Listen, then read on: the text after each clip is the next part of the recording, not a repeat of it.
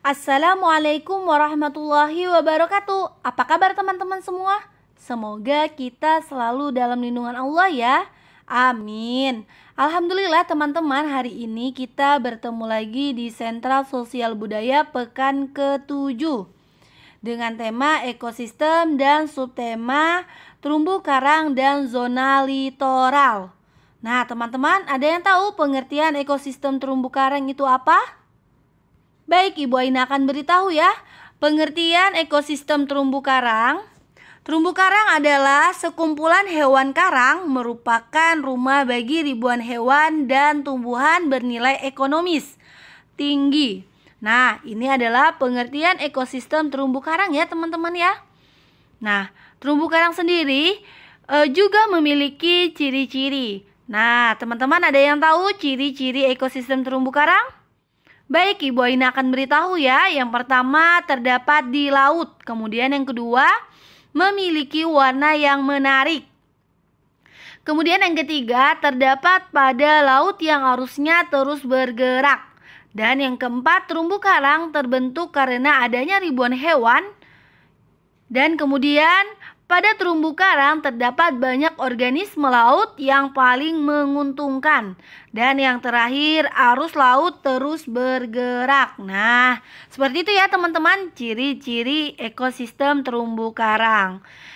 Nah, terumbu karang sendiri itu juga memiliki banyak manfaat. Kita bisa lihat yang pertama manfaatnya sebagai tempat hidup ikan. Kemudian yang kedua melihat bentuk warnanya. Kemudian yang ketiga, habitat dan sumber makanan bagi berbagai jenis makhluk hidup di laut. Kemudian yang D, pelindung bagi ekosistem yang ada di sekitarnya. Kemudian yang E, pelindung pada ekosistem fungsi hutan bakau. Kemudian yang terakhir, melindungi pantai dan daerah pesisir dari ombak besar. Nah, ini adalah salah satu contoh e, manfaat ekosistem terumbu karang ya teman-teman ya. Nah, kita bisa lihat di sini bahwa wilayah konservasi dan wisata terumbu karang itu juga terdapat di Indonesia.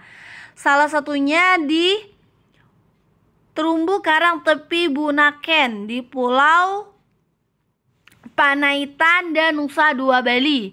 Kemudian yang kedua terumbu karang penghalang penghalang. Nah, ini terdapat di Kepulauan Riau, Sulawesi Selatan dan Kepulauan Bagai, Sulawesi Tenggara. Tidak hanya itu saja teman-teman, bahwasannya uh, wilayah konservasi dan wisata terumbu karang itu juga terdapat di terumbu karang cincin di Samudra Atlantik ya. Kemudian bisa kita lihat lagi di sini bahwa uh, wilayah konservasi dan wisata terumbu karang itu juga terdapat di uh, terumbu karang datar. Ini letaknya di Aceh ya, teman-teman ya. Nah, seperti itu teman-teman. Oke, kita bisa lihat di sini bahwa terumbu karang terindah di Indonesia itu juga ada di e, berbagai wilayah. Kita bisa lihat yang pertama, terumbu karang di Taman Laut Bunaken. Nah, ini di Manado ya, teman-teman ya. Masya Allah, indah sekali pemandangannya ya teman-teman. Kita bisa melihatnya bahwa itu adalah salah satu bukti kuasa Allah subhanahu wa ta'ala. Nah, kemudian yang kedua ada terumbu karang perairan Raja Empat. Nah, ini terdapat di Raja Empat. Ini juga tidak kalah uh, indahnya ya teman-teman ya. Masya Allah, begitu indah sekali pemandangannya. Oke teman-teman, kita bisa lihat di sini juga terdapat terumbu karang Taman Laut Nasional di Wakatobi. Wah, luar biasa sekali. Ini warnanya sangat luar biasa ya, teman-teman ya. Kemudian yang kedua, terumbu karang Taman Laut Kepulauan Derawan. Letaknya di Kabupaten Berau, Kalimantan Timur. Masya Allah.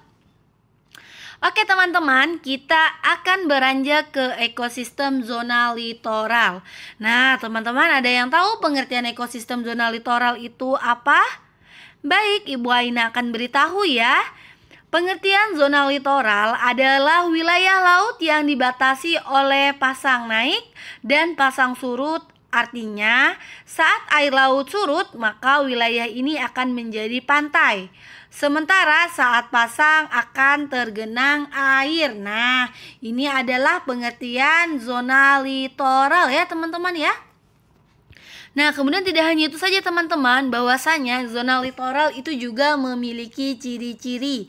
Kita bisa lihat yang pertama di sini tidak memiliki kedalaman atau 0 meter. Kemudian yang kedua akan tergenang air laut ketika pasang. Kemudian yang ketiga akan menjadi pantai ketika surut. Keempat, wilayah yang berada di pesisir pantai. Kemudian yang kelima, pengaruh suhu udara beserta sinar matahari. Nah, ini adalah ciri-ciri ekosistem zona litoral. Nah, zona litoral sendiri teman-teman banyak memiliki manfaat. Nah, teman-teman ada yang tahu manfaat ekosistem zona litoral itu apa saja? Baik, Ibu Aina akan beritahu ya. Yang pertama, sebagai habitat bagi beberapa spesies laut seperti binatang laut, kemudian udang, kepiting, dan binatang lainnya. Kemudian yang kedua, sebagai zona pasang surut air laut. Dan yang ketiga, sebagai objek wisata karena mempunyai pemandangan yang indah. Dan yang keempat, sebagai ekosistem terumbu karang. Nah, kita lihat yang terakhir, kumpulan air asin di permukaan bumi yang banyak dan luas. Nah, masya Allah ya teman-teman, banyak sekali manfaat ekosistem zona litoral. Nah, tidak hanya itu saja teman-teman, bahwasanya pantai zona litoral itu juga terdapat di berbagai daerah. Nah, ini adalah salah satu contohnya di eh, di Pulau Kalimantan. Kita bisa lihat di sini ya, Pantai Melawai menjadi surut atau pantai dan pantai akan tergenang air. Nah, ini terdapat di kota Balikpapan. Yang kedua, Pantai Batu. Pantai Batu menjadi surut atau pantai dan pantai akan tergenang air. Nah, ini terdapat di kota Balikpapan. Tidak hanya itu saja teman-teman, bahwasanya pantai zona litoral yang terdapat di Kalimantan juga terdapat di Pulau Sulawesi. Kita bisa lihat di sini yang pertama ada pantai Sepinggan menjadi surut atau pantai dan pantai akan tergenang air. Ini terdapat di kota Balikpapan. Yang kedua di sini ada pantai Lemo. Pantai Lemo menjadi surut atau pantai dan pantai akan tergenang air terdapat di Sulawesi Selatan. Kemudian kita bisa lihat di sini pantai zona litoral yang terdapat di Sulawesi dan Jawa. Yang pertama ada pantai Akarena. Pantai Akarena menjadi surut atau pantai dan pantai akan tergenang air. Nah, ini terdapat di Sulawesi Selatan.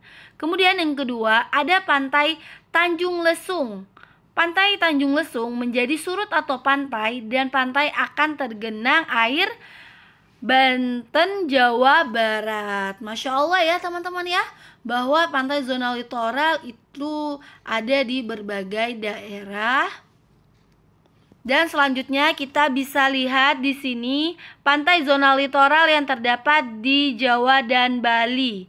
Yang pertama ada pantai Jungwok.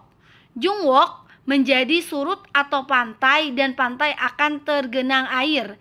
Ini terdapat di Yogyakarta, Jawa Timur. Kemudian yang kedua, ada Pantai Nusa Dua Bali menjadi surut atau pantai dan pantai akan tergenang air. Ini terdapat di Pulau Bali. Alhamdulillah ya teman-teman ya. Semoga apa yang Ibu sampaikan mengenai ekosistem terumbu karang dan zona litoral teman-teman dapat memahami. Oke teman-teman, kita akan beranjak ke tugas. Yang pertama, teman-teman membuat pop-up dan menggambarkan terumbu karang zona litoral. Dan yang tugas kedua, teman-teman membuat catatan Sebutkan tiga wilayah konservasi dan wisata terumbu karang di Indonesia dan empat terumbu karang terindah di Indonesia. Kemudian yang ketiga, sebutkan satu pantai zona litoral yang terdapat di Kalimantan, Sulawesi, Jawa, dan Bali. Nah, ini tugasnya ya teman-teman ya untuk pekerjaan pekan ke-7. Oke teman-teman, alhamdulillah ya. Terima kasih teman-teman, semangat mengerjakan. Semoga Allah memudahkan teman-teman dan pastikan jangan lupa baca bismillah. Ibu tutup teman-teman. Assalamualaikum warahmatullahi wabarakatuh. Sampai jumpa teman-teman semua.